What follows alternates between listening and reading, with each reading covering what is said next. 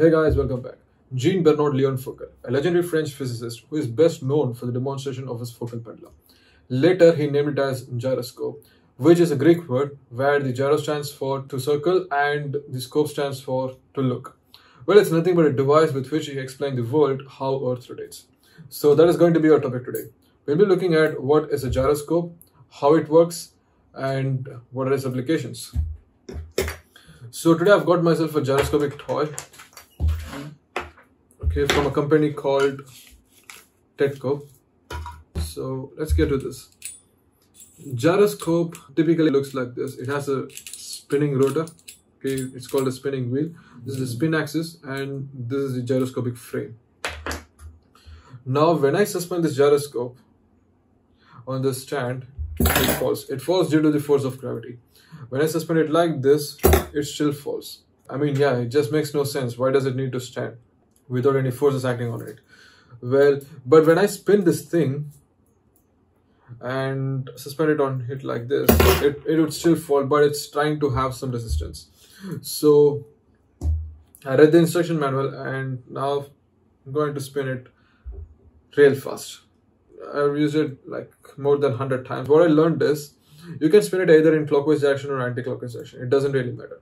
What actually matters is how fast the wheel is spinning. The more the fast the wheel is spinning, more stabilized and balanced your gyroscope becomes along its axis.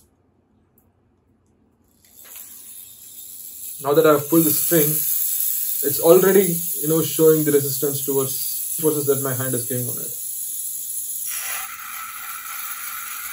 See now it balances perfectly and it's having an orientation along this axis.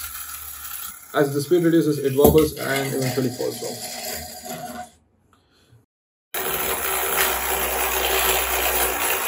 This is called angle of precession.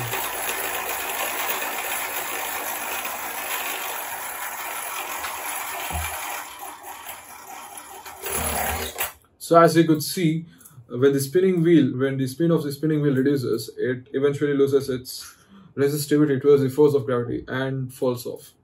So one more thing about it is you can completely suspend it anywhere as long as the wheel is spinning and it just won't change its orientation until and unless some heavy external force is applied to it. So now that we know how cool a gyroscope is, let's get to the part where we will look at how it actually works. Now this is where the things are going to get a little bit tricky and complicated, but I've did my very best to put it in the most simplest way possible. You know what? Uh, let's just get it. Now to understand how gyros work, we need to know the difference between acceleration and velocity. Velocity is nothing but the speed of an object in a direction, and acceleration is the change in the velocity of the object. Okay, so this object is now having a moment. Mm, velocity times mass of this object gives you the momentum. When I give force into this object, which is in a linear motion, its momentum changes along that linear direction. But when I do the same thing to a wheel, I'm applying force here, its angular momentum changes. Its angular momentum changes means if I give if I give more force, its angular momentum increases.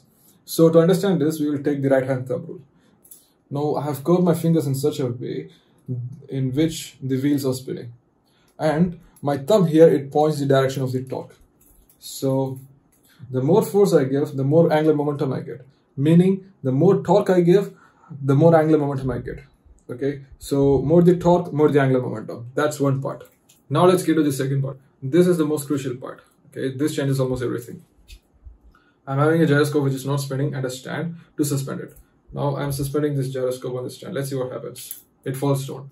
Now let's say it's about this direction. It is falling due to force of gravity. One second. Yeah. Now the force of gravity here is acting in this direction, meaning it will produce a torque in this direction perpendicular to the force of gravity, which is now facing the camera. Well, let's get into this diagram. This is the force acting on the spring. This this here indicates the force acting on the spinning wheel. So more the force, you'll get more angular momentum and a greater torque. Okay.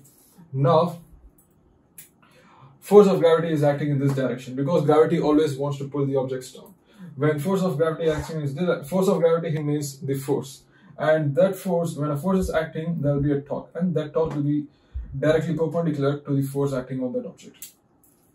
So the force acting in this direction, and we have, we have an angular momentum in this direction, and the force of gravity is providing us a torque, which is known as active torque, and it is that active torque that keeps this gyro from falling and it helps the gyro to maintain its angle of precession about the vertical axis. Uh, this is the torque produced by gravity and this torque is known as active torque. It is because of this active torque the spinning wheel is able to maintain an angle of precession about this vertical axis. Okay, so that's just how a gyroscope works. I hope you guys understand that.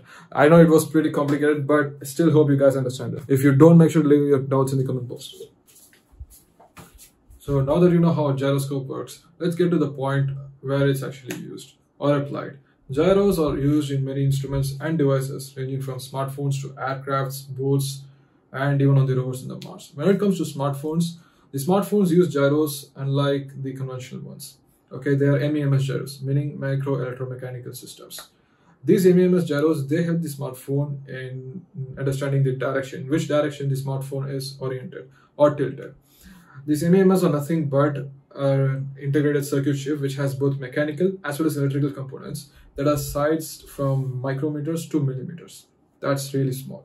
And iPhone 4 was the very first smartphone to come with an MEMS technology in gyroscope. Kudos to Apple and Steve Jobs. When it comes to aircraft, gyros are used in instruments such as altimeters, vertical speed indicators, airspeed indicators, and much more to determine the aircraft's orientation and position in space, and also to make it to trespass through the clouds without a fuss. Okay, similarly, these gyros are also used in ships and boats, which helps them against the aggressive wave currents and prevents them from tipping off into the sea. All these gyros, they usually spin at a rate of 15,000 to about more than 30,000 RPM. The reason why they spin at this high RPM is because more the RPM, more stable and balanced the aircraft or the ship becomes against the wind or wave currents. Okay, so that's it. If you guys have any doubts or questions, make sure to leave them in the comment box below. Plus, make sure to follow my Instagram handle at Gears and Grease.